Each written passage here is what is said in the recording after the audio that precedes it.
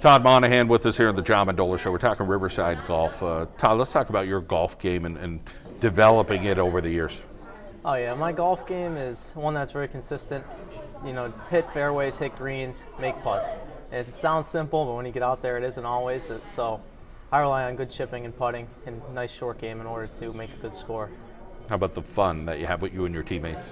Oh, it's a great time. All these guys are like my best friends. They're all on the team, and um, it doesn't even feel like we're like when we're out working hard. It doesn't even feel like we're practicing. It just feels like I'm hanging out with the guys, and it's a great time. For you, you play basketball as well. You have a favorite sport between them. What do you like about basketball? Well, basketball I like it because it's more intense, more physical.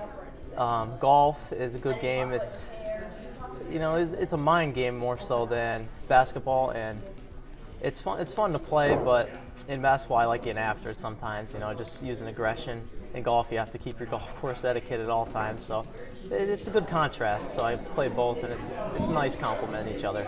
2020's been a heck of a year, but boy, for the Riverside golf team, it's been a heck of a year in another way. Um, you guys gave uh, Prep a heck of a run, double-digit wins for the Vikes this year.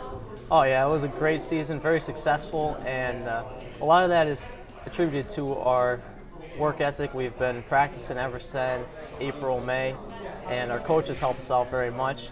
Even when uh, we're struggling a little bit, they can give us little tweaks to improve our game, and then we just go out and do it on our own.